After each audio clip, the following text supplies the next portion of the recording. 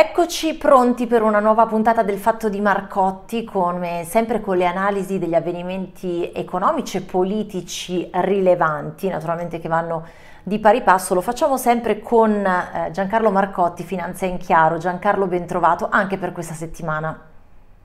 Grazie Manuela e come di consueto un saluto a tutti gli ascoltatori. Allora, eh, andiamo a vedere subito, chiedo alla regia di seguirmi un istante quali sono i punti che affronteremo in questa puntata. Naturalmente il tema dell'inflazione americana, peraltro dato appena pubblicato, eh, e ora molto laconicamente, mi verrebbe da dire così Giancarlo, ho lasciato in sospeso questa domanda della serie con le dovute riflessioni cerchiamo di capire un po' cosa si aspetteranno i mercati e cosa ci aspettiamo anche noi dalla Fed. Poi ancora, beh, oggi eh, in modo doveroso dobbiamo fare un po' un'analisi sulle elezioni regionali in Lombardia e Lazio, direi che insomma il centrodestra ha conquistato a man bassa le due regioni, la riconferma per l'ennesima volta in Lombardia del centrodestra e la, invece la, l'arrivo del centrodestra anche nel Lazio. E poi, attenzione, usa Cina sui palloni spia, anche di questo si sta parlando forse non eccessivamente, ma cercheremo di capire anche quale impatto eh, avrà questa tensione, queste tensioni sui mercati, se può averlo.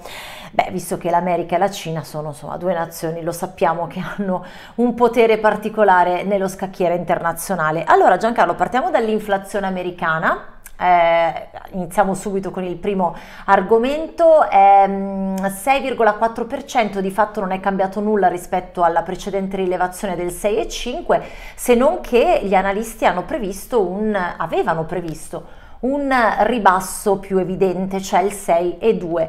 Allora, che idea ti sei fatto e soprattutto a questo punto mh, quali potrebbero essere le prossime mosse della Fed?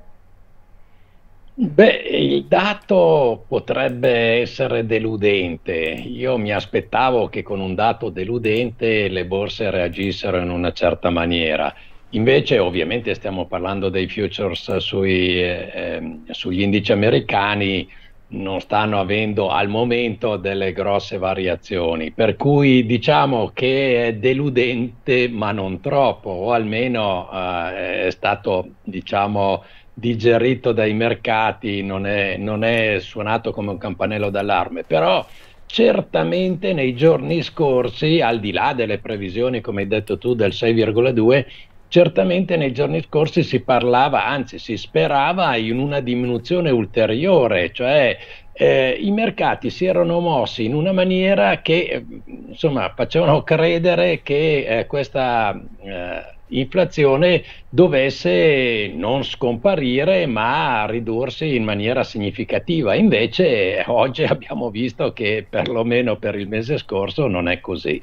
Certo, esatto, ma ehm, allora bisogna mettere in relazione però non solo le mosse della Fed con questi dati sull'inflazione, ma con cioè, questi dati sull'inflazione e eh, la fotografia economica americana che sappiamo essere insomma mh, mm, comunque positiva. Non c'è stato un eccessivo rallentamento addirittura una recessione americana. Eh, questo cosa significa? Se ci fosse stato paradossalmente lo sappiamo se ci fosse stato un rallentamento evidente dell'economia americana la Fed probabilmente avrebbe eh, fatto un piccolo passo indietro avrebbe detto ma eh, sì continuo con una politica monetaria un po' più aggressiva ma stando attento attenta a non penalizzare penalizzare troppo l'economia, visto che, e qui arrivo ovviamente, e soprattutto con lo scenario in, di questo momento, perché poi questo, questo aspetto lo stiamo affrontando da tanto tempo, visto che l'economia continua a reggere, avremo altri dati questa settimana, quindi potremo poi fare un'analisi più precisa. L'inflazione scende ma non troppo, appunto. Eh, cosa farà la Fed? Cioè l'anticipo è quello di allentare un attimino la presa, però a questo punto potrebbe decidere, potrebbe decidere di tornare a essere un po' più falco, ecco, eh, ed è la paura principale degli investitori, no? Eh, eh, insomma, senza girarci troppo intorno. Eh, partiamo da questo, da questo, aspetto, ovviamente eh, non avendo a disposizione una, una, sfera di cristallo. No, ma eh, non do le mie previsioni, do quelle di Goldman Sachs che io guardo sempre con una certa attenzione perché normalmente sono ben informati. Ma Goldman Sachs dice che eh, mancano ancora un paio di rialzi di 25 centesimi, eh, quindi i tassi al 5, 5,25% e poi la Fed resterebbe su questo tasso qua per diverso tempo, comunque insomma eh, diverso tempo vuol dire non pochi mesi, ecco. E questa, eh, secondo me, è una, doveva essere una pessima notizia perché insomma eh, tassi così alti per uh, diverso tempo uh, dovrebbero spaventare il mercato. Invece anche queste previsioni di Goldman Sachs non hanno avuto l'effetto di spaventare i mercati. Io mm. ribadisco sempre che eh, se la crescita degli Stati Uniti dovesse così aggirare intorno al 2%, eh, tasse intorno al 5-5,25% è un gap eh, non da poco, quindi dovrebbe essere appunto qualche cosa che eh, fa scendere i, i, i, mercati. Tra l'altro mi trovo d'accordo, come al solito, come spesso succede con Andrea, che insomma vede questi, eh, queste valutazioni attuali abbastanza generose in, sulle borse. Poi eh, stiamo a vedere, però ecco, questa è la previsione di Goldman Sachs. Eh, un, ancora un paio di, di aumenti della Federal Reserve da 25 punti e poi eh, si ferma lì eh, in attesa che questa inflazione torni intorno al 2%. Non so quanto tempo ci vorrà, però questa, io, io riferisco Goldman Sachs. certo, dopo... certo, certo. No, no, eh, assolutamente sono previsioni che fanno gli analisti di Goldman Sachs che insomma comunque rappresentano una fonte accreditata, non è che stiamo eh, parlando di numeri che vengono dati a caso, insomma questo sicuramente. Ehm, e invece senti, per quanto riguarda, è vero che adesso stiamo parlando dell'America e di quello che potrebbe succedere alla Fed, ma hai visto in queste ultime ore anche dall'Europa sono arrivate notizie un po' confortanti sulle previsioni economiche a partire dal PIL, a partire dalla disoccupazione. Questo per l'Europa cosa potrebbe significare invece? In effetti vedo che il DAX eh, continua a restare su livelli veramente molto elevati. 15.400 punti, insomma, sono Beh, livelli... Anche il nostro Fuzzi Mib, insomma, Beh, ha avuto una performance certo. dall'inizio dell'anno eh, che è stata la migliore, peraltro, subito dopo il Fuzzi Mib, il Nasdaq, ma stanno correndo troppo i mercati, a tuo parere?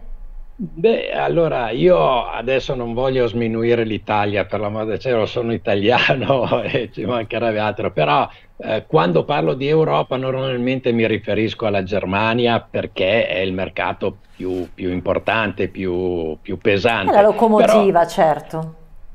Però è anche vero che il, il, il nostro PIL appunto ha, ha, stupito finora, insomma abbiamo, stiamo vedendo un 2023 molto migliore rispetto a quello che ci aspettavamo, cioè davamo il 2023 prima certo la, la, la, recessione doveva essere certa, poi doveva essere probabile, poi doveva essere possibile, adesso invece sembra... Uh, mm. che sia difficile che, eh, di, di, vedere questa recessione. Di conseguenza, buone notizie, eh? Stiamo, non, non, è che, che, ci arrabbiamo perché non, non, abbiamo la recessione, ci mancherebbe no, no, altro. No, no, certo, ci mancherebbe. Però ecco, è solo per dire come queste previsioni eh, in effetti di giorno in giorno sembrano essere smentite e quindi eh, io temo che eh, la, la Lagarde a questo punto appunto continui il, il, il, il quest, questa, questo aumento dei tassi perché se non fa male all'economia, insomma, eh, sappiamo che in Europa la, l'inflazione è ancora più alta degli Stati Uniti, quindi certo. dobbiamo comunque combatterla. Ecco. Certo, allora torneremo. L'inflazione rimane sempre in pole position e il primo market mover perciò eh, ci torneremo, ma passiamo alle speciali regionali Lombardia e Lazio con il tuo commento Giancarlo Marcotti. Allora, Attilio Fontana, andiamo a vedere anche questo il sito dell'ANSA, giusto per avere insomma sott'occhio le percentuali eh, che gli sfidanti sia della Lombardia che del Lazio si sono aggiudicati, fermo restando che, ma questo lo analizziamo dopo, c'è stato un astensionismo incredibile e l'avevamo anche un po' previsto. Allora regia per favore andiamo sul mio PC, andiamo a vedere eh, gli sfidanti della Lombardia appunto eh, come hanno portato a casa il risultato. Attilio Fontana, leghista sostenuto dal centrodestra, ovviamente attuale presidente eh, de, di Regione Lombardia, è stato confermato alla presidenza con il 54,67% dei voti, l'equivalente di 1.774.400 477 preferenze. Questi sono dati definitivi. Lo sfidante del centro-sinistra, peraltro che eh, era anche PD e ehm, Movimento 5 Stelle, Pier Francesco Maiorino, si ferma al 33,93%. Eh, ecco, io per esempio, così ti lancio da, già degli input, mi aspettavo un po' meno distanza tra i due. Andiamo a Letizia Moratti, eh, 9,87%. Beh, qui ehm, insomma mi sembra un po', eh, non voglio essere impietosa, ma un risultato poco poco brillante. Letizia Moratti candidata civica per il terzo polo con 320.346 preferenze e poi abbiamo anche Mara Ghidorzi, Unione Popolare con l'1,53% delle preferenze. Anche su questo ti chiedo poi una cosa. Andiamo a vedere eh, i candidati invece del Lazio, vediamo se no, così non me lo fa vedere, adesso li prendo subito, però partiamo prima dalla, dalla Lombardia, eccolo qua, Lazio qua, no, li vediamo subito allora, um, Alessio D'Amato, centro-sinistra, 33 e 50% di preferenze, Francesco Rocca, centrodestra, vince ovviamente il nuovo governatore delle eh, regionali Lazio, eh, scusate, del, della regione Lazio, 53,88%, Donatella Bianchi, Movimento 5 Stelle, che in questo caso eh, correva da solo 10,76% e appunto basta così e questi sono i risultati. Allora sulla Lombardia partiamo da qui, eh, te l'aspettavi? Domanda numero uno, ti aspettavi questa distanza con il centro-sinistra? Ti aspettavi questa debacle di Letizia Moratti? E poi ultimo aspetto, la quarta candidata ha riportato veramente un risultato insomma 1,53. Vale la pena sfidare altri candidati quando insomma poi si ottengono questi numeri? Giancarlo. Allora, eh, dunque, diciamo che non mi ha sorpreso il, il risultato, anche perché eh, i sondaggi erano nettamente a favore di Fontana, quindi era, era, difficile che l'esito sarebbe stato diverso. In più non c'è il ballottaggio, di conseguenza anche avesse vinto di, di 0, avrebbe comunque, eh, insomma, eh, sarebbe comunque rimasto a, nel, nel Pirellone, insomma, nel palazzo della regione. E, ehm, certo, il, il, distacco è enorme, ehm, però ripeto, non mi è sembrato proprio una grande sorpresa. Uh-huh. Eh, io penso che abbia giocato soprattutto il fatto che sia a Milano che a Roma il centro-sinistra si è diviso, si è diviso in maniera differente, cioè a Milano è il terzo polo che si è staccato, a Roma invece sono i 5 Stelle che si sono staccati, ma con quella decisione in pratica avevano già dato la, le due regioni al centrodestra. Eh, io tra l'altro giustifico anche in questa maniera, anche per questo motivo, questa grande astensione. Cioè, prima di andare a votare sia i, i milanesi, io dico i milanesi, dovrei dire i lombardi, ecco, i, okay. sia i lombardi che i laziali eh, dovevano, cioè, eh, sapevano già quale sarebbe stato l'esito e quindi magari molti non sono andati a votare perché sapevano che non mm. c'era partita, insomma. E così è stato poi alla fine. Certo, certo. diciamo che gli, entrambi i candidati non hanno lasciato dubbi sulla loro vittoria già dalle prime proiezioni, insomma, quindi non è stata una sorpresa. E poi appunto ancora l'astensionismo in Lombardia ha votato solo il 40% degli elettori, um, il 41,67 e solo il 37% invece si è presentato ai seggi nel Lazio. Punta massima a Roma con il 33,11%, ma il dato è sconfortante se si pensa che alle precedenti regionali scusate, del 2018 nella capitale andò alle urne il 63,11%. Eh, ma insomma, eh, continua allora, intanto un, un, altro aspetto, questo rafforza il governo, insomma, di centrodestra, il governo Meloni, come e quanto in questo contesto, anche considerando però che appunto le persone hanno preferito non votare, perché di questo si tratta, no? Beh, è più favorevole al governo che non all'opposizione, perdonami se dico una banalità, ma eh, insomma... Eh, è, è, la verità dei fatti. Eh, è chiaro che un, un, esito del genere, seppur scontato, ma permette al governo di dire vedete che il, gli elettori ci hanno premiato anche questi primi 100 giorni sono stati appunto uh, visti con favore dalle popolazioni perlomeno di Lombardia e Lazio che comunque Lombardia e Lazio messe assieme eh, fanno, io direi, più di un quarto della popolazione italiana, eh? Eh, uh-huh. quindi 16, 32, 64 è cer- certa- certamente più di un quarto della popolazione italiana, quindi non è...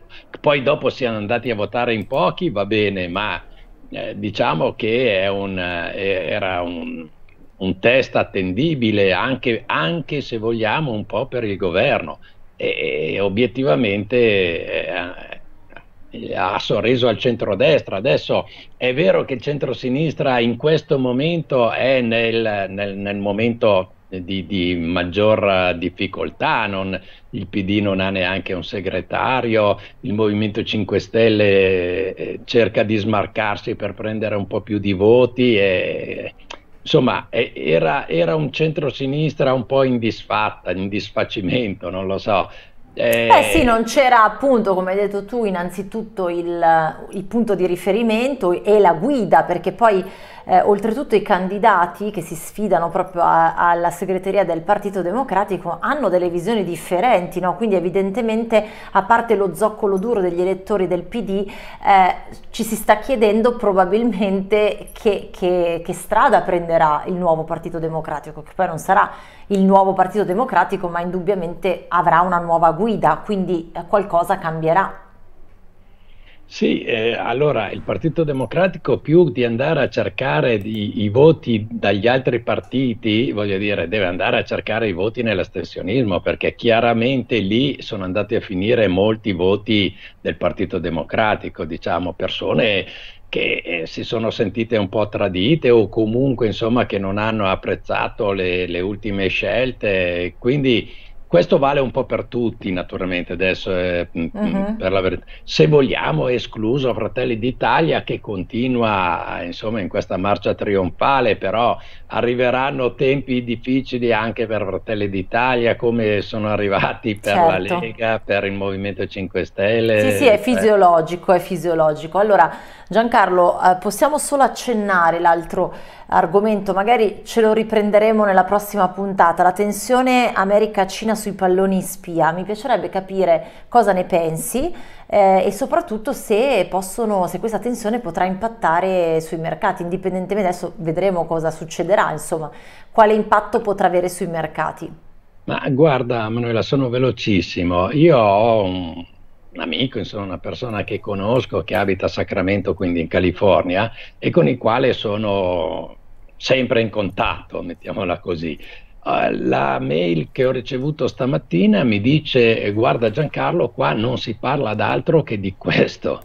Quindi mm. ecco, mh, dico solo questo, è una, è una cosa che è partita che sembrava una barzelletta e insomma speriamo che rimanga una barzelletta, ma temo che eh, non sia una cosa del genere, che bisogna prenderla in maniera seria, perché adesso veniamo a sapere che eh, sti palloni che, che, girano o altre cose che girano a 12.000 metri, a 40.000 piedi, come dicono gli americani, eh, non si capisce bene che cosa siano, cioè non si capisce bene, è chiaro che non sono qualche cosa che è arrivato lì per caso. No, no, e certo. la stessa cosa lo dicono i cinesi, dicono ma con tutte le cose che mandano sul nostro territorio gli americani, insomma, quando comincia a esserci questo ping pong tra due paesi come la Cina e gli Stati Uniti, che insomma sono due grandi potenze, io direi che se, se ci ridevamo su all'inizio, adesso forse è venuto il momento di non riderci troppo. Eh no, assolutamente no. Però ci torneremo magari, ovviamente sperando che, come hai detto tu, eh, si, si, confermi una barzelletta, a quel punto non ci sarà neanche più bisogno di parlarne, se così non fosse ovviamente ci mettiamo l'appunto Giancarlo e ne, ne, parleremo, insomma. Allora Giancarlo Marcotti, grazie, noi ti seguiamo sui tuoi video, eh, su Finanza in Chiaro, con tutti i temi centrali, insomma, che poi estrapoliamo e portiamo anche qui sulle fonti tv nel fatto di Marcotti, ci risentiamo la prossima settimana, grazie per la collaborazione. Grazie a te Emanuele, come di consueto un saluto a tutti gli ascoltatori.